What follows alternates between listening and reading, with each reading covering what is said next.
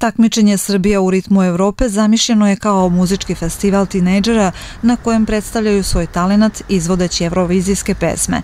Uprkos pandemiji, organizatori ovog takmičenja našli su način da okupe mlade iz 23 grada Republike Srbije i daju im šansu za jedno lepo iskustvo. Glasanje je bilo organizovano putem SMS poruka, a uz to svaki grad imao je svog člana žirija koji je uz zbir SMS glasova doneo konačnu odluku o pobedniku. Ono što je na prvom mjestu najvažnije to je da se daje šansa mladima da se javno prikažu i da kroz taj javni njihov nastup prikažu neki svoj talent i rad i to ja sam tog mišljenja da u svim gradovima i u svim zemljama treba da na prvom mestu. Nikola je dobro otpevao, devojke su dobro odigrale, ja kao član žirija, ispred Šida sam bio u grupi žirija i svih ostalih gradova, čuo sam da su i oni zadovoljni, da onako, što se tiče komentare grada. Pobedu na takmičenju Srbija u ritmu Evrope za 2020. odnele su takmičarke iz Čačka.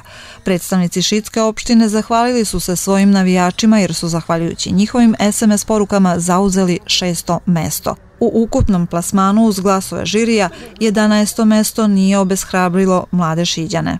S obzirom da smo prvi put na takmičenju uopšte, to su rekli u ritmu Evrope kad se predstavljalo, ovaj, da je šid zvanično prvi put na tom takmičenju, mi smo prošli odlično, što je za šid velika stvar. Mi ću nastaviti da radimo zajedno, devojke plešu odlično, ja se trudim da pevam što bolje, Tako da, verovatno ćemo i sledeće godine mi predstavljati šid opet na ritmu Evrope, ali ćemo se malo drugačije organizovati.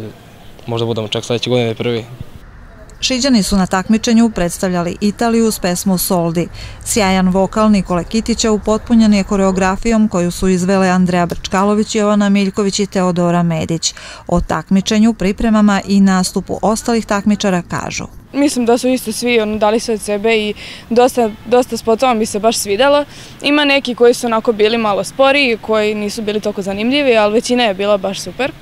I ja sam ovako generalno baš zadovoljna sa svime. I ovo je bilo jedno jako lepo iskustvo za svakoga, kogod je učestvovao tamo. E, takmičenje je stvarno jako lepo, ali zbog sve, sve ove situacije malo je bilo snimljeni su spotovi, nije išlo baš uživo i to, ali ovaj, stvarno bilo jako lepo.